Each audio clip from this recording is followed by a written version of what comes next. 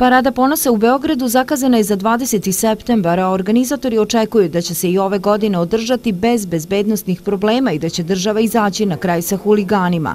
Kako kažu, prošlogodišnji Pride je pokazao da nasilja nema kada država to odluči. 13 dana pre početka same nedelje ponosa ne vide nikakve razloge za zabranu. Međutim, septembar je ovaj, dug i svake godine zabrana kada su se dešavali, dešavali su u poslednjem trenutku. Međutim, mi kao organizatori ne očekujemo da se to ove godine desi. Iako se broj prijavljenih slučajeva nasilja prema pripadnicima LGBT populacije smanjuje, organizatori parade ponosa zahtevaće od vlasti efikasniju reakciju u slučajevima kada su žrtve LGBT osobe. Tražit će i usvajanje novih zakona, zakona o priznavanju pravnih posledica promene pola i zakona o registrovanim partnerstvima. Mi sada nekako zahtevamo u skladu sa našim sloganom ovogodišnjim Moja prava, moji zahtevi.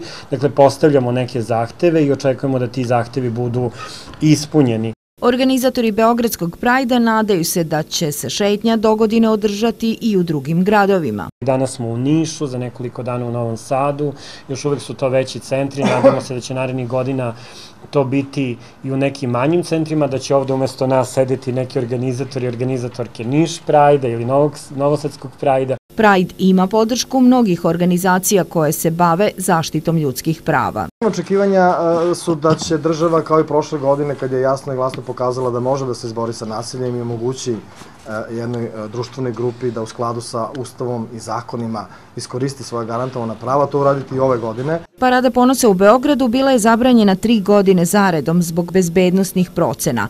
Prošle godine održana je bez incidenata.